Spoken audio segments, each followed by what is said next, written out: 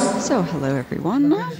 I'm Gilles Raveaud, and I'm associate professor of economics, where Bernard Maris used to work. Uh, the Institute of European Studies, uh, which is at a small public university, uh, uh, Paris 8. Uh, so, if you want, uh, if you know people who want to come and study with us, I encourage you to send them to us. A, we have a very interesting research team. So now we'll move in uh, to the more uh, academic side of our event here, and uh, so uh, it uh, we've had some very interesting people who have accepted to join us and speak to us today, who are from our scientific committee. So we have uh, three people we'll be hearing from this afternoon. So I will introduce. Firstly, we have André Orléan, and I would like to quote him. And I, I everything that André Orléan is wonderful. He's a hard worker with a very open mind. And I'm quoting, as you can guess, Bernard Maris speaking of André Orléan. So, who is André Orléan? Well, he's had many titles in French research. He's a uh, a head of research at the National Institute. He's also president of the uh, uh, French Institute of uh, Political Economy, and with Juliette Shaw and Chimère Dio, who will also be speaking to us uh, this afternoon. So, uh, André Orléan is a specialist on questions of value, and I recommend his latest work called The Empire of Value uh, and the subtitle is Refounding the Economy. Uh, as, as, students of economics know, André Orléan has worked some uh, some reference works on money. Uh, these works, uh, such as Violence and Money, or Money Between Confidence and Violence, and for and this, to him, it is a question of violence. And uh, Bernard uh, was also very attentive to this notion of the violence of econom- economics. Uh, so for André Orléan, says there is no value in and of itself. There are only social arrangements which are more or less stable around value. In other words, uh, the, uh, his work tells us that the founding of all value is political and social. And we know that it is that aspect that is truly lacking in our European currency in particular. So for André Orléan, as he's always shown, the economics has three characteristics. First of all, it's political. Secondly, economics is a social science. It's multidisciplinary.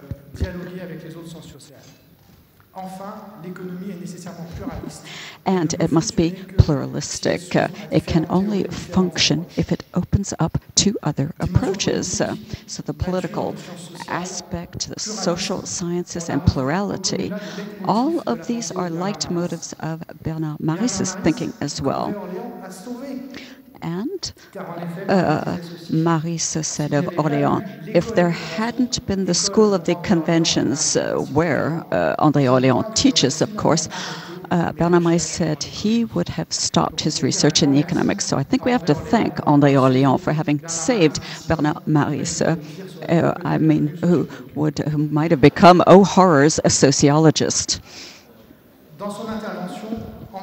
So André Orléan will tell us about the radical thinking of Bernard Maris. He really took things at the roots to demystify them. This has been said, of course, before, but uh, it's important to say we must continually demystify the mainstream economic thinking. Uh, André. Hello, everyone. So, the title of my talk is For the Sake of Bernard Maris.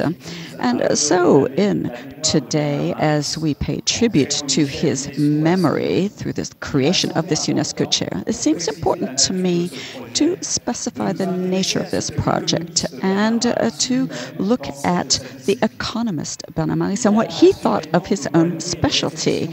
And there's uh, plenty of food for thought here for the scientific committee who's going to have the difficult task of defining the shape of this new chair. Uh, and so, uh, uh, let's now take stock of who Bernard Maris was himself. He was an economist, a true economist, above all. Before becoming such an incisive journalist that we know of, before that, he worked in Toulouse at an economics research center uh, and uh, very committed to his research. In a short work he uh, entitled How I Became an Economist, he explained how he became an economist, and he said, Economics seemed to me the only social science that could give me the keys to understanding that I was looking for. I wanted to understand in order to be able to counter inequality. The poverty in developing countries was a, is a terrible concern to me, and it was a much more open period at the time. Marxism, for example, was still very full of meaning and still strong. I read a lot of Marx, and I must say I enjoyed it. It was not at all a chore for me, and uh, that uh, end of quote. And uh, many of us after 1968 believed, as he did, that uh, that uh, we should that research in economy was part of our social engagement. And Bernard Maris was not an economist like others. He belongs to that category of economists which Keynes called the heretics. Well, today we say rather heterodox economists. So those like Keynes who rejected the idea of this self regulated competition or the invisible hand because he doesn't believe that the markets adjust themselves automatically. And we can say that Maris belongs to the rather radical wing of heterodoxy, and a great deal of his work consisted of a frontal attack on what we call the mainstream eco economics uh, or uh, neoclassical theory. And his criticism was ferocious and devastating, and uh, you can get a, a, a, feel of this if you read any of his works. Uh, it is he's very clear in his orientation. So let's look at some of those. And uh, from there, perhaps this can inspire us uh, in ideas for the chair. One of his central theories emphasize the fact that uh, neoclassic theories uh, use hypotheses that are totally unrealistic. For example, the idea that Homo uh, economicus uh, uh, behaves in a rational way. But all of this is based on purely imaginary ideas. And so for Maris, these are pure exercises in logic, not social sciences. And in 2003, in his uh, open letter to the economics gurus who take us for idiots, he said very clearly, and I quote, uh, the economics has become a system where we draw logical conclusions implied by a number of premises and postulates. And no matter if these premises are true, and in fact they aren't true, the only important thing is to show that the conclusions are the logical consequences of the premise. And Bernard Maris uh, uh, says there's no problem with this so long as econ economists uh, present themselves for what they are, i.e., logisticians. And he said, uh, uh, uh, please say that you are logisticians. You have no toolbox, you have no duties, you have no advice to give or to recommend, no laws to suggest. You have nothing. So for heaven's sakes, say so. That's what he uh, could not tolerate was that economists present themselves as scientists in the same way as physicists or biologists. And he was very violent in his uh, description of the Nobel Prize of uh, e economy. And as he said about economics, in the short term, nothing will change so long as there will be the Nobel Prize of the Bank of Sweden. He considered it a usurpation, a sham, that the Bank of Sweden should uh, give a Nobel Prize. And he said that he didn't think that it was likely to go away anytime soon now. He was very indignant over this, uh, particularly over uh, economists who transform themselves into experts and who come to give lessons to to uh, our heads of state and to the media. And he said it's a great temptation to call oneself an expert. Uh, and it's dishonest when you claim to be an expert. An expert is always dishonest because he takes the complexity of a science of which he knows very little uh, or even nothing. Uh, he said this was false advertising because economics is radically powerless in guiding public action because it is totally cut off from reality. And he said that its uh, economic theory tells us nothing about the world because it can show everything and its contrary.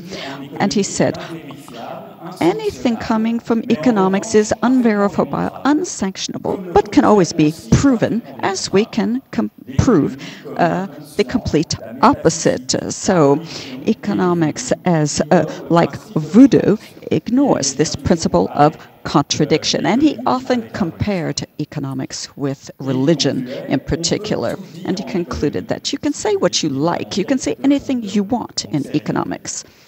It's meaningless. Uh, but another Nobel Prize winner, Paul Samuels, Samuelson, who was very orthodox in his theory, he said nothing is impossible in such an inexact science as economics. And so, in fact, Maris uh, was not the only one who uh, to say such things. However, may we wonder that under these conditions, why do those economic experts have such success? If they can't prove that their advice is true, then why do we listen to them? Uh, uh, so this is a, a question that Maris asked himself a great deal. And, uh, and he uh, looked to rhetoric to explain this.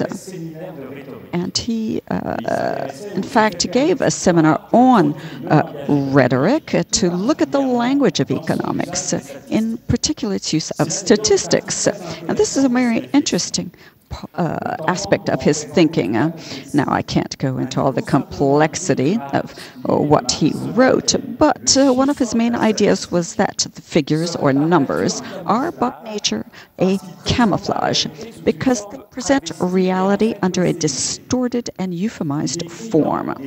And in his work, The Economist Above All Suspicion, that was in 1990, he said, by putting a number on evil, it is no longer an evil. So this is a very interesting idea. And so, for example, 10% unemployment doesn't tell us anything about the suffering of the unemployed and turns our attention away from the people who are unemployed because numbers uh, create a coolness and a distance. Uh, he said numbers are considered to bring a calm scientific veracity. They are considered unbiased. And he wrote, the neutrality of numbers speak to a, a of scientific authority and an authorized discourse. This authorized discourse is not meant to be understood, but to be recognized. And he added, what is so striking in democratic moments, such as in the États généraux of the revolution, uh, there were no numbers used, as if the, the political uh, will uh, understands that this in, in, this incompatibility between political will and statistics. So this is an avenue that I think deserves more research. Uh, so And what about uh, John Maynard Keynes? This uh, Bernard Maris uh, was a great admirer to him. To Maris, uh, he was uh, the perfection of the, of the economist as a man.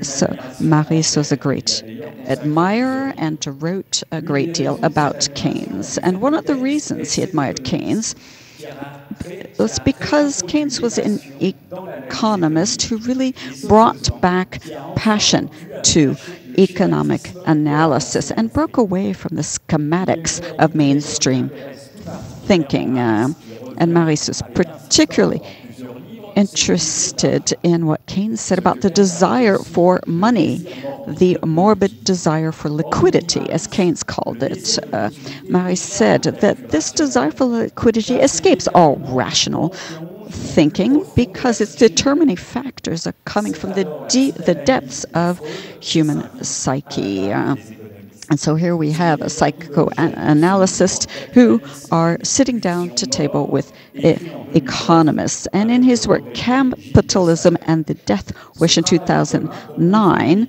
in that work, he gives us a very disturbing new view of capitalism and its underlying forces.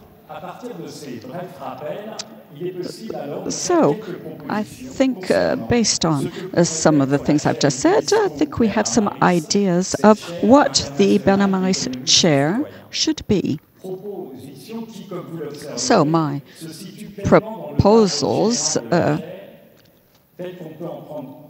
uh, you can see some uh, summary of this on the website of the foundation. So, for example, uh, there has to be a renewed form of education on economics that must be more cross disciplinary, uh, based on a very different epistemology. So, to begin, I'd say that more than ever today, economics needs more critical and rebellious minds, along the lines of Bernard. Uh, that's my first point, because Maris himself was very aware of this lack of plurality in the teaching of and research on economics, and particularly in France. And he deplored this situation. Uh, so Bernard Maris was also French Association of Political Economy, of which I'm president. And the aim of that association is to ensure that economics is not a, a monolithic or monochrome. He he wanted everyone to understand that there are several types, uh, several ways to study and understand economics. Uh, and uh, this is particularly striking in France, uh, where the uh, it's very marginalized any heterodox uh, thinking. As he said, you know, he would have stopped his research if he hadn't been saved by uh, some of the things he read uh, coming from some counter currents uh, in thinking. And he said, when I finished writing my thesis, when I saw many of the dead ends of economics, and yet that was uh, becoming the dominant current, I really knew, I nearly threw in the towel. And so I think that this UNESCO chair needs to be attentive to those doubts. Uh, I think that should be one of the missions of the UNESCO chair to act as a forum for exchange where these doubts can be expressed. As for some of the themes that will be studied by the chair, there are many uh, possibilities. Uh, but if we look to some of uh, Bernard Maris's favorite uh, subjects, I think we have plenty of inspiration. He had a very open and curious mind. Uh, and you can find any of these in his works as an economist and a journalist. But I think there's really one that is present throughout his works, and that is the question of ethics. because Maris was very concerned about questions of gratis and worthlessness or lack of use, uselessness, because contrary to economic theory, he said that what creates fundamental value is the lack of worth. It's hard to imagine anything more iconoclastic than that. It's got the exact opposite for most e economists. Uh, because everything for them is based on utility, whereas Maris said it's non-utility, the lack of usefulness, the lack of usefulness that is uh, at the heart of value. So for him, this worthlessness and the gratis is one of the most essential conditions for economic development. And in his book, The Anti-Manual, he said gratuity and solidarity are what make growth, invention, and richness uh, in spite of competition, which is essentially inefficient. So you can see he's quite a contrarian. And so for him, it's it's the free of charge which allows societies to develop. So in other words, if a capitalistic economy functions, it's only because it has taken over this notion of uh, the profit and the notion of the gratis, which it has inherited but doesn't produce. So this chair should think about the relationship between ethics, aesthetics, and the economy. The economic sciences should go back to the moral sciences, as Bernard said. That would be a fine idea. And so this means we also have to think about what are social bodies, what are the roots of ties of solidarity, what are the values we want to share.